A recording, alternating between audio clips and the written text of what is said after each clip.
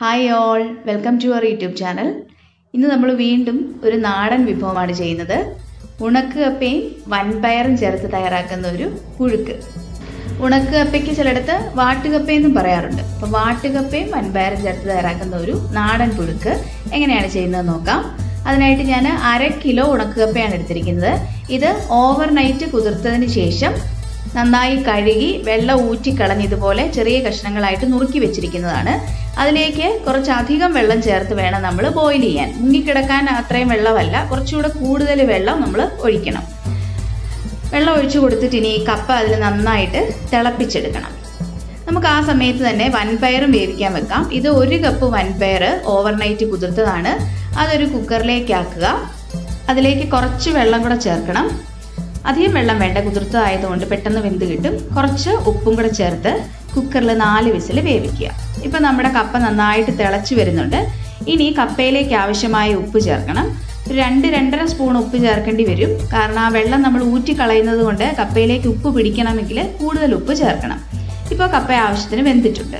ഇനി നമുക്ക് അരപ്പ് തയ്യാറാക്കാം. അതിനായിട്ട് ഞാൻ ഒരു തേങ്ങയാണ് ഒരു ചെറിയ തേങ്ങ ചിരുകിയത്. അതിലേക്ക് അഞ്ച് പച്ചമുളകും പത്ത് വെളുത്തുള്ളിയും. അതിലേക്ക് ഒരു ഒന്നര ടീസ്പൂൺ ജീരകം ഏകദേശം ഒരു ഒരു ടീസ്പൂൺ മഞ്ഞൾപ്പൊടി. ഇതെല്ലാം കൂടെ ചേർത്ത് നന്നായിട്ട് ചതച്ചെടുക്കണം. ഒട്ടും വെള്ളം ചേർക്കരുത്. വെള്ളം ചേർക്കാതെ ഇതുപോലെ പുഴുക്കിന്റെ പാകത്തിന് ചതച്ചെടുക്കുക. ഇനി അതിലേക്ക് കുറച്ച് കറിവേപ്പില ഒന്ന് തിരുമി കൈ വെച്ചൊന്ന് തിരുമിയതിന് ശേഷം അതും കൂടെ ഇടുക. ഇപ്പം ഞാൻ വെന്ത കപ്പ നന്നായിട്ട് ഊറ്റി വെള്ളമെല്ലാം കളഞ്ഞ് എടുത്തിട്ടുണ്ട്. വെള്ളം ഒട്ടും അതിലുണ്ടാവാൻ പാടില്ല. നന്നായിട്ട് വെള്ളം ഊറ്റിക്കളയണം. അപ്പോൾ അത് കപ്പ ഊറ്റി റെഡിയാക്കി വെക്കുക. ആ സമയം തന്നെ നമ്മുടെ വൻപയറും വെന്ത് കിട്ടിയിട്ടുണ്ട്. വൻപയർ നന്നായിട്ട് വേകണം. അതിന്റെ അടിയിൽ കുറച്ച് വെള്ളമുണ്ട്. ആ വെള്ളം കളയണ്ട. അത് നമുക്ക് കപ്പയിലേക്ക് തന്നെ ചേർക്കാം.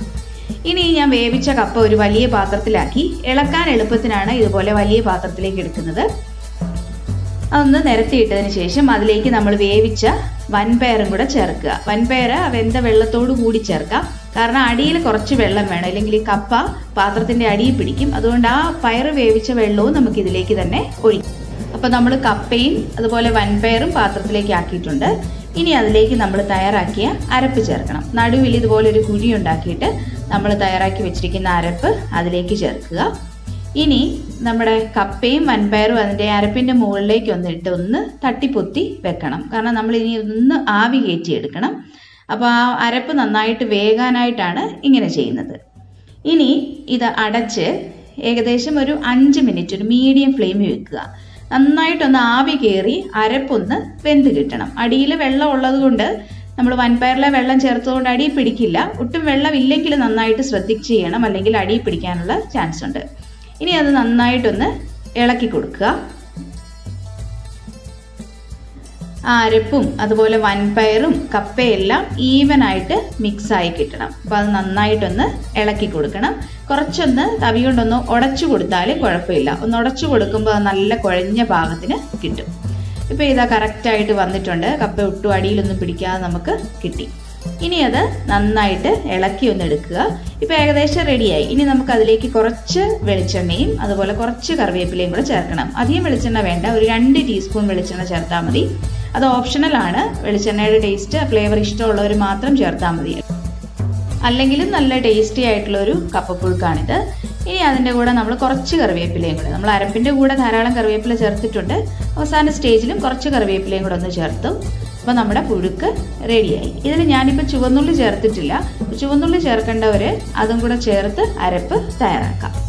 അപ്പോൾ നമ്മുടെ വളരെ ടേസ്റ്റി ആയിട്ടുള്ള ഉണക്കപ്പ വൻപയർ പുഴുക്ക് റെഡിയായി ഈ പുഴുക്ക് കഞ്ഞിയുടെ കൂടെയും ചോറിന്റെ കൂടെയൊക്കെ നല്ല കോമ്പിനേഷനാണ് നോൺ വെജ് കഴിക്കുന്നവർക്ക് ചിക്കൻ കറിയോ അല്ലെങ്കിൽ ഫിഷ് കറിയോ ഒക്കെ കൂട്ടി സെർവ് ചെയ്യാം.